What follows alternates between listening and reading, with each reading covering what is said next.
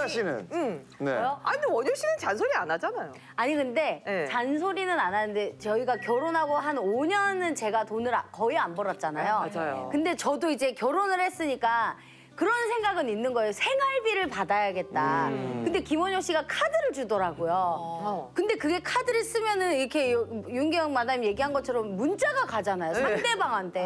그러면 그게 쓰는 사람이 마음이 편하겠냐고요. 음. 그래서 제 생각에는 뭐라도 현금을 받아야겠다 이런 생각을 들어가지고 그래서 한 달에 50만 원씩 받기 시작했어요. 그래서 근데 그게 참 뭐라고 너무너무 기분이 좋은 거지.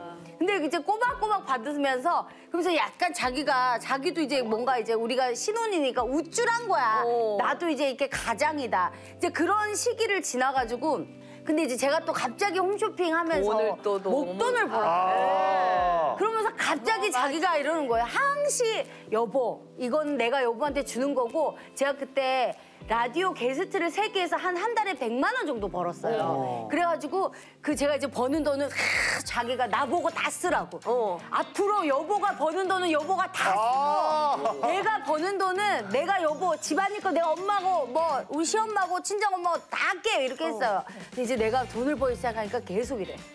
그래갖고 이번 달은 얼마 벌었어요? 이렇게 약간 다 쓰라 그래놓고 왜 신경을 쓰는 아니? 그래서 시작 하면서는 그렇게 내 월급이 궁금한 거예요. 오. 너무 그러면서 이제 이 사람이 이제 내 통장에 돈이 쌓이는 걸 이제 자기도 어느 정도 이제 알겠지. 서로 이제 집안일 하는 횟수가 자기가 많아지고 그렇지. 밖에 내가 나가는 횟수가 내가 더 많아지고 이러니까 계속 그러다가 이제 어느 날 저기 저뭐 이렇게 할 때 이거는 여보가 좀 싸면 안 돼요 막 이렇게 하기 시작하더라고요.